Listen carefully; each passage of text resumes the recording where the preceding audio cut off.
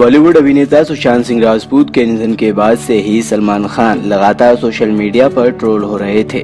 वहीं आज मशहूर कोरियोग्राफर सरोज खान के निधन के बाद सलमान खान को एक बार फिर से ट्रोल किया जाने लगा है।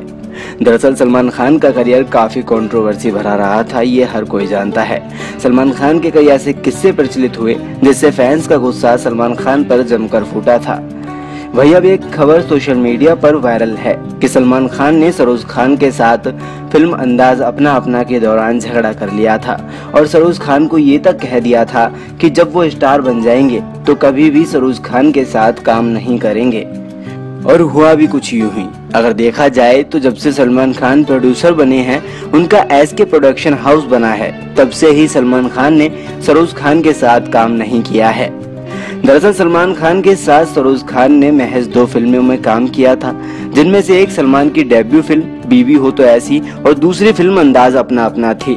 वहीं जब सरोज खान फ़िल्म अंदाज अपना अपना के सेट पर सलमान खान और आमिर खान को डांस स्टेप सिखा रही थी तो सलमान खान को लगा कि सरोज खान जानबूझकर उन्हें गलत स्टेप्स बता रही हैं और उन्हें एक जोकर के रूप में दर्शाना चाह रही हैं।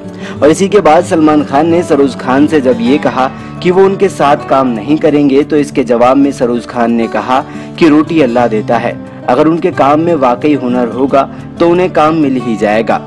साथ ही अपने एक इंटरव्यू में सरोज खान ने बताया था कि डायरेक्टर ने उन्हें सलमान खान और आमिर खान के कैरेक्टर की सिचुएशन बता दी थी, जिसके हिसाब से उन दोनों के लिए सरोज खान ने स्टेप्स भी तैयार किए थे। बता दें, कल देर रात कार्डियक अटैक आने की वजह से सरोज खान का निधन हो गया। वहीं आज सुबह उन्हें मुंबई की मिट्टी में सुपुर्दे खाक कर दिया गया है। इस खबर को यहाँ तक देखने के लिए शुक्रिया। अगर आप ये वीडियो फेसबुक पर देख रहे हैं तो लाइक करें हमारे अर्पण न्यूज़ पेज को।